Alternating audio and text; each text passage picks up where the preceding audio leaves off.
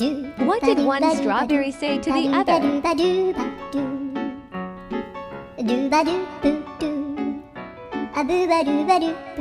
I think we're in a jam.